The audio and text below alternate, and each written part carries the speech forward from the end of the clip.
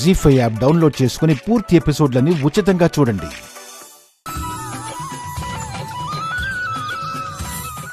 Doctor గారు.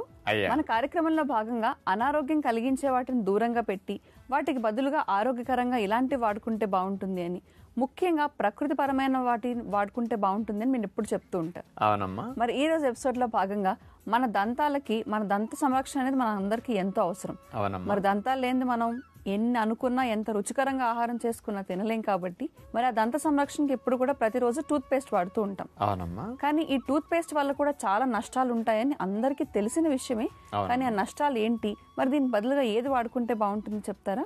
Tooth పేస్ట్లు రాకముందు మన తాత ముత్తాతలు ఏం వాడారో అవే ఈ టూత్ పేస్ట్లకి ఆల్టర్నేటివ్స్. ఓకే. మరి ఆ రోజుల్లో ముసలోళ్ళకి ఎనభై ఏళ్ళు తొంభై ఏళ్ళు వచ్చినా కాస్త పళ్ళు ఉండేవి అవును.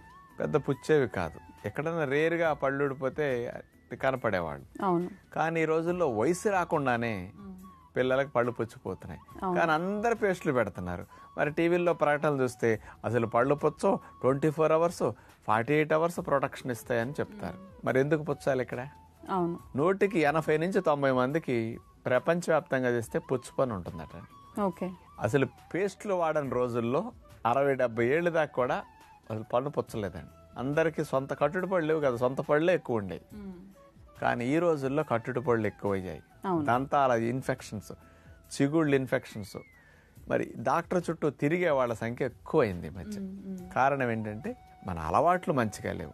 అందుకని ఏ పేస్ట్ మన అట్లా రక్షించడం చేయలేదు. ఓకే. ఈ పేస్ట్లో కూడా ముఖ్యంగా తీసుకుంటే అనేక కెమికల్ కాంపోజిషన్తో తయారు చేస్తారు. ఓకే. మరి ఏ పేస్ట్ ఎక్కువ మంచిదంటే నోట్లో పెట్టుకున్నామండి ఎక్కువ నురుగు ఎక్కువ వస్తే ఆ పేస్ట్ మంచిది అనుకుంటాం ఈ నురుగు రావటం కోసం ఫోమింగ్ ఏజెంట్ కలుపుతాడు.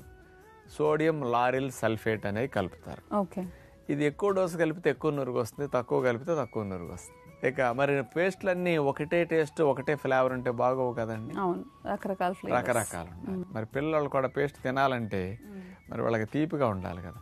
శాకరిని కలుపుతారు. పళ్ళు పుచ్చటానికి శాకరిని ఒక కారణం. అందుకని ఇది అందులో కాంబినేషన్ కంపల్సరీ ఉంటుంది ఓకే. దంతాలు వైట్ రావాలి. అందుకని వైట్ రావడానికి వాడే కలరింగ్ ఏజెంట్స్ వల్ల దంతాల పైన ఇరిటేషన్స్ కొంచెం ఎక్కువ వస్తుంటాయి. ఇవి కలుపుతారు. ఫ్లేవరింగ్కి ఫ్లేవరింగ్ ఏజెంట్స్ కొన్ని వాసన వేరుగా ఉండాలి. అందుకని అన్ని పేస్ట్లు ఒక రకంగా ఉంటే కుదరదు. మళ్ళీ రంగు కలర్ వెయ్యాలి. కొన్ని క్రిములు చంపడానికి సోడియం ఫ్లోరైడ్ ఒకటి ట్రైకోజైన్ అనే ఒక కెమికల్ కలుపుతారు.